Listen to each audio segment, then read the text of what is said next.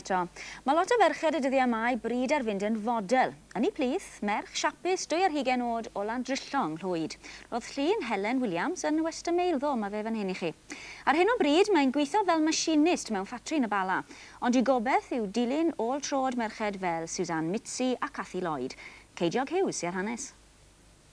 Machinist mewn ffatri gwneud pyjamas yn y bala di Helen Williams, ond mae gen i freuddwyd. Gobaith Helen ydy gadael i ffeiriant gwnio ar ôl a chlocio ymlaen i yrfa newydd, fel glamour model.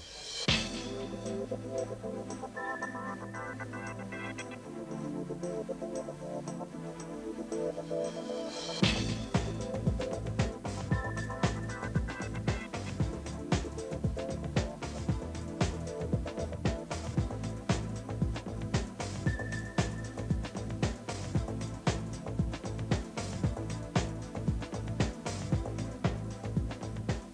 Di'r syniad o, o wneud gwaith topless yn dy bwyd ni o gwbl? Na, di. Dwi ddim yn poeni. Dwi'n gwbl. Dwi wedi gofyn wrth mam a dad os mae'n iawn. Be oedd i adwaith nhw pan ddedus di bod eisiau gwneud gwaith glamour modelling felly? A maen nhw um, wastad i gwybod dwi eisiau gwneud modlo. Ond um, pan oedd i ddweud am y topless, oedden nhw, dwi'n gorau meddwl amdan y peth gyntaf. A wedyn, tyma, adael nhw feddwl, a wedyn o'n yn iawn amdano peth, tyma. Neu'n siŵr dwi'n neud bob peth yn iawn, a ddim jyst rysio fewn i rhywbeth, ynddo. Wel, does gyna i ddim gwrthwynebiad rwan. Um, mae Helen wedi gofyn caniatad i thad a fine cyn mynd ymlaen efo. Does ei ddim wedi cario ymlaen tasen ni yn gwrthwynebu. Felly, dwi'n dymuno bob lwc i fi. Dych chi wedi trafod y peth yn reit manwl? Do, felly, do? yn fanwl iawn, do. Faint mor benderfynol o ti rwan o lwyddo? Um, Wel, na i just trio bob ma'n gallai a dyn nhw'n, chymod, os dwi'n cael i'm gwaith. Wel, dwi wedi trio, dyna i gallai ddeud. Ond dwi am mynd i drio, dwi am, chymod, pwysio'n hyn os gallai. Ond dych chi'n poeni ella bod o'n busnes eitha pryglus bod yna, chymod, bod yna ferched fel Helen yn cael ei exploitio mewn ffordd? Yndi, mae hynny wedi croesi'n meddwl ni hefyd.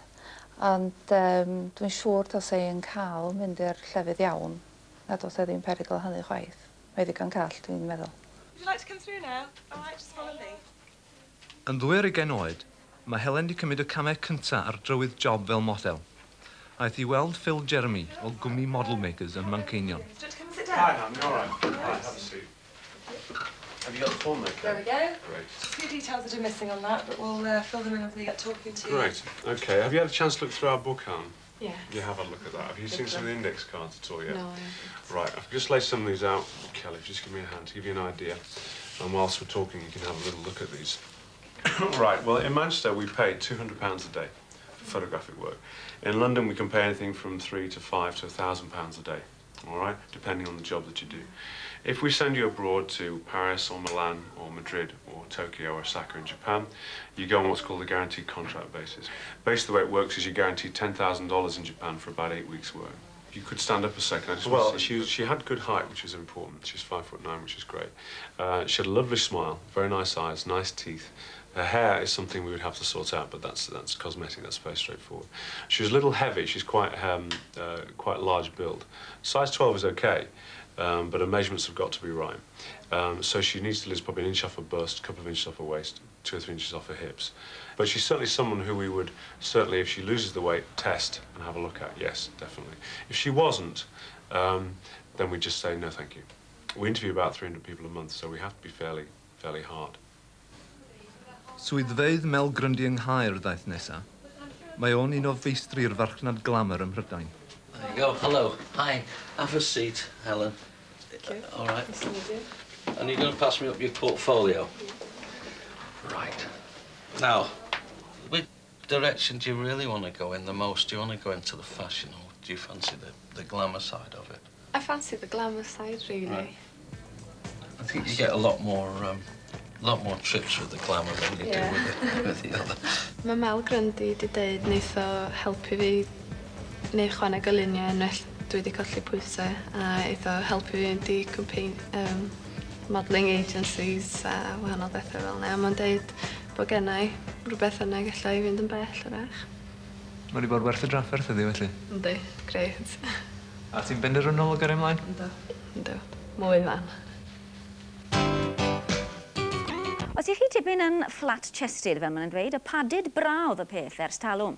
Ond ers blynyddoedd bellach mae'r wonder bra wedi cymryd drosodd.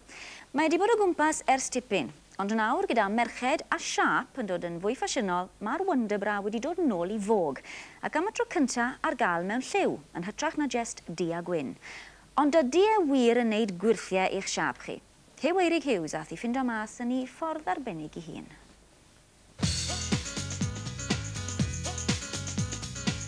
Rhai nhw'n merched gyda garian mawr a bronau mawr. Mae eu cyrff nhw'n werth ffortiwn, y merched sy'n gwerthu'r magazines. Mae'r byst yn boblogaidd unwaith eto. Mae siop David Evans sy'n tu ôl i mi wedi gwerthu cannoedd y wyndybras yn ystod y mis diwetha.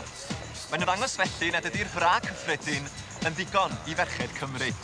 Milan, sexy for New York and Japan.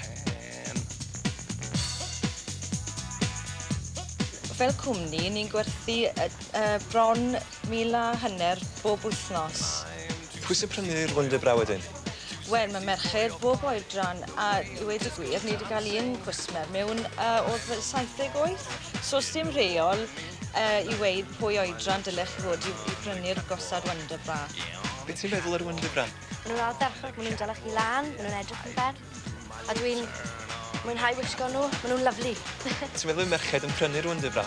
Wel, gallai'r y pris mynd lawr tymau bach, ond fi'n credu bydd merched yn prynu nhw. adw. Ti'n meddwl bod y braidd yn anheg fod o'n twylla dynion? O, dim mae oedd yn bach, ydi. Cos uh, mae fanylach chi edrych yn fwy o seis i fyd, dim sen. No. Un seis yn fwy i fe. Beth ydyn yn dweud pan maen gweld chdi'n cerdd lawr y stryd efo Wendy Bra? Waw! Ti'n meddwl bod o'n deg bod chdi'n twylla dynion yn gwisgo Wendy Bras? Na. Mae nhw'n dala chi'n lan fwy ch'mo'? Ond ydi'r Wonderbra yn gweithio? Yeah, on the catwalk, on the catwalk, yeah, I shake my little tush.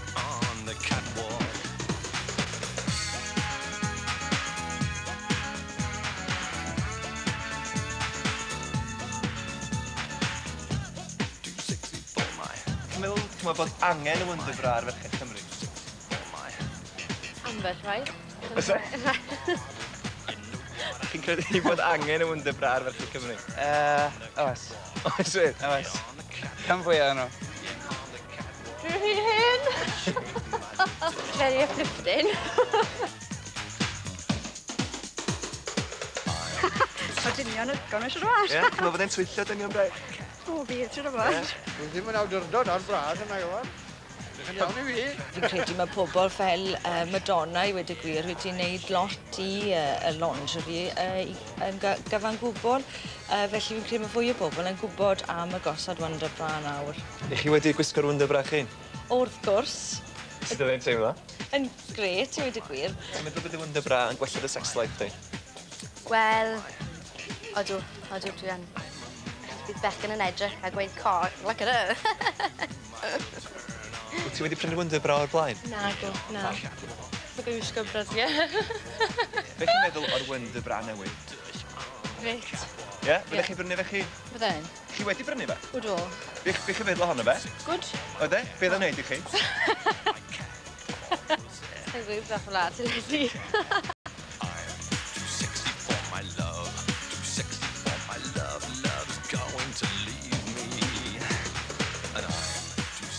Wel, na fe te, gwisgwch un o'r reina a gwmpwch chi beth ar eich trwy'n. A rhwng y Wonderbra,